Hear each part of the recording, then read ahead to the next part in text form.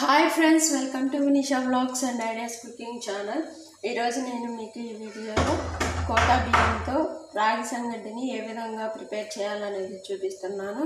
So రాయలసీమలో ఇలాగే చేసుకుంటారు. సో నేను ఒక కప్పు కోటా బియ్యం తీసుకున్నాను. ఇందులో ఏది లేకుండా తీసుకొని రెండు మూడు సార్లు బాగా కడిగి పెట్టుకోవాలి. సో రాగి సంగటి వల్ల మనకి చాలా ఉపయోగాలు ఉన్నాయి. షుగర్ ఉన్న వాళ్ళు ఇది ఒక పూట కానీ రెండు పూటలు కానీ తీసుకుంటే షుగర్ కంట్రోల్లో ఉంటుంది.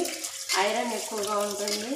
ఇందులో రాగి సంగట్లో కాల్షియం కూడా ఎక్కువగా ఉంటుంది. సో ఫైబర్ ఎక్కువగా ఇందులో రాగి సంగట్లో ఫైబర్ ఎక్కువగా ఉంటుంది కాబట్టి డైలీ మనము తీసుకోవచ్చు. మేమైతే ఒక పూట దీన్ని తీసుకుంటాము ఈవినింగ్ టైంలో రాత్రిపూట మేము దీన్ని తీసుకుంటాము.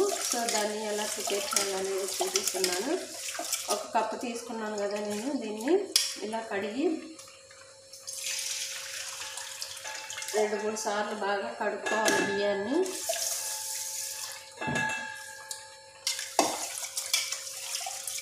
సో ఇప్పుడు ఈ కరోనా టైంలో మనము ప్రతిరోజు కూడా ఇమ్యూనిటీ పవర్ కావాలి కాబట్టి మనకు ప్రతిరోజు కూడా మనం రాగి సంగటిని రాత్రిపూట అయినా తీసుకోవచ్చు మధ్యాహ్నం అయినా తీసుకోవచ్చు. అదే కాకుండా ఈ మిగిలిన ఒకవేళ రాత్రిపూట చేస్తే మిగిలిపోయిన దాంతో సర్ది కూడా చేసుకోవచ్చు. దానివల్ల కూడా మనకు చాలా ఉపయోగాలు ఉన్నాయి. ఇప్పుడు టిఫిన్ బదులు సర్ది చేయమంటున్నారు కదా చాలామంది డాక్టర్స్ అది కూడా చేసుకోవచ్చు ఈ రాగి సంగటితో. సో నేను రెండు మూడు సార్లు దీన్ని కడుక్కొని పెట్టుకున్నాను కడుక్కున్నాను. ఒక కప్పు బియ్యానికి ఎసరు నాలుగు కప్పులు నీళ్ళు పడతాయి. ఎసరు ఎక్కువగానే పడుతుంది. సో మెత్తగా ఉడకబెట్టాలి బియ్యాన్ని. అప్పుడే రాగి సంగటికి ముద్దకి వస్తుంది. రాగి సంగటి లేకపోతే రాదు.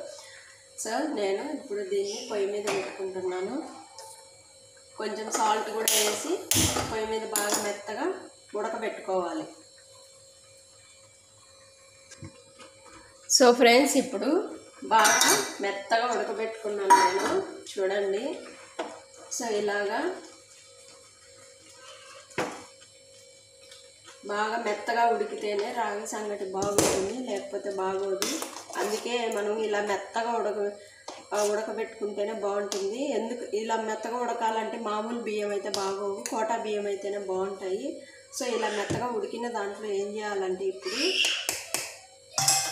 రాగి పిండి వేయాలి. ఒక కప్పు రాగిపిండి మీకు రాగిపిండి ఎక్కువ కావాలంటే ఎక్కువ వేసుకోవచ్చు. కర్ణాటక బెంగళూరులో అయితే ఉట్టి రాగిపిండితో చేస్తారు సంగటి. ఇది మనం తినలేము. సో మా రాయలసీమలో ఇలా చేస్తారు. అందుకే చూపిస్తున్నాను నేను.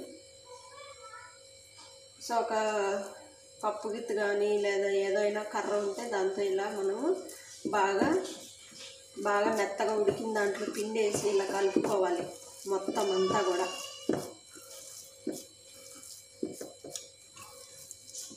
ఒక కప్పుకి ఒక కప్పు బియ్యానికి ఒక కప్పు పిండి. లేదంటే మాకు రైస్ వద్దు అనుకుంటే అర కప్పు బియ్యం వేసుకోండి ఒక కప్పు రాగి పిండి వేసుకోండి. మేము అలా ఇలానే మాకు ఇలానే బాగుంటుంది కాబట్టి నేను ఇలా చూపిస్తున్నాను. కొంతమంది ఉత్తి ఆగిపిండి అయినా తింటారు. డైట్ చేసే వాళ్ళకు కూడా ఇది చాలా బాగుంటుంది. ఫైబర్ ఎక్కువగా ఉంటుంది ఇందులో. షుగర్ వాళ్ళకు కూడా చాలా బాగుంటుంది. ఇది షుగర్ కంట్రోల్ చేస్తుంది. ఒక పూట తిని మనము తీసుకోవచ్చు. బాగుంటుంది. సో ఇలా మొత్తాన్ని అన్నింటినీ కూడా అంతా కూడా కలిపేసుకోవాలి. పిండిని బాగా కలిపేటట్టు కలిసిపోయేటట్టు బియ్యంలో అన్నంలో కలిసేటట్టు ఇట్లా తిప్పుకోవాలి.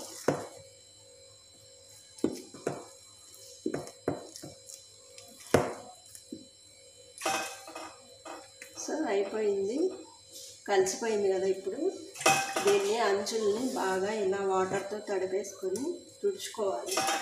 ఇప్పుడు దీన్ని ఏం చేయాలంటే కొద్దిసేపు ఇమరనియాలి ఒక టూ సెకండ్స్ అలా ఎమరనియాలి మూత పెట్టేసి ఎమ పెట్టుకుందాం. ఒక టూ మినిట్స్ అలా ఎమ ఇమిరిపోవాలి. సో ఫ్రెండ్స్ ఇప్పుడు బాగా ఇమిరిపోయింది. స్టవ్ ఆఫ్ చేసుకొని మనం కిందకి దించుకొని దీన్ని ఈ ప్లేట్ని తీసుకొని ఇలా వాటర్తో బాగా కడుక్కొని మళ్ళీ ఒకసారి దీన్ని బాగా తిప్పాలన్నమాట. ఇలా తిప్పుకోవాలి. బాగా ఎగిరింటుంది ఇది చికెన్ లేక్ బాగుంటుంది పప్పు లెగ్ బాగుంటుంది. ఏదైనా మసాలా కర్రీలోకి బాగుంటుంది. చికెన్ మటన్ చట్నీ శనగిత్తనం చట్నీలో కూడా బాగుంటుంది. సో ఇలా తీసుకొని కొద్ది కొద్దిగా చిన్న చిన్న ముద్దలుగా చేసుకోవాలన్నమాట. ఇలా ప్లేట్లో పెట్టుకొని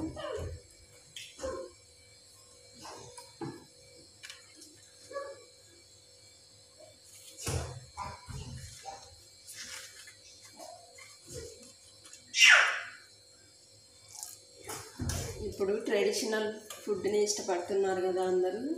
సో ఇది కాల్షియం ఎక్కువగా ఉంటుంది. బలానికి చాలా బాగా పనిచేస్తుంది. మేమైతే తప్పకుండా తింటాము. మేము ప్రతిరోజు కూడా చేసుకొని తింటాము. సో ఇలా చేసుకోండి. మీకు కూడా ఎలా వచ్చిందో నాకు కామెంట్స్లో పెట్టండి. సో మీకు నచ్చిందో లేదో ఈ వీడియో కనుక మీకు నచ్చినట్లయితే లైక్ చేయండి షేర్ చేయండి. మరిన్ని వీడియోస్ కోసం సబ్స్క్రైబ్ చేసుకోండి. Thank you for watching so ఇలాగా మనము అన్నింటినీ కూడా కాలుతుందన్నమాట. చాలా జాగ్రత్తగా తిని ఇలా బాల్స్ లాగా చేసుకోవాలి. కొంచెం చల్లారాకైనా చేసుకోవచ్చు. నేను ఇప్పుడు మీకు వీడియో కోసం ఇలా చూపిస్తున్నాను. సో ఇలా బాల్స్ లాగా చేసుకుంటే అయిపోయినట్టే. ఇప్పుడు చికెన్ కర్రీతో చే- తింటే చాలా బాగుంటుంది. సో ఇదే రాగి సంగటి. మీకు కూడా తప్పకుండా అందరూ ట్రై చేయండి షేర్ చేయండి సబ్స్క్రైబ్ చేసుకోండి. Thank you for watching.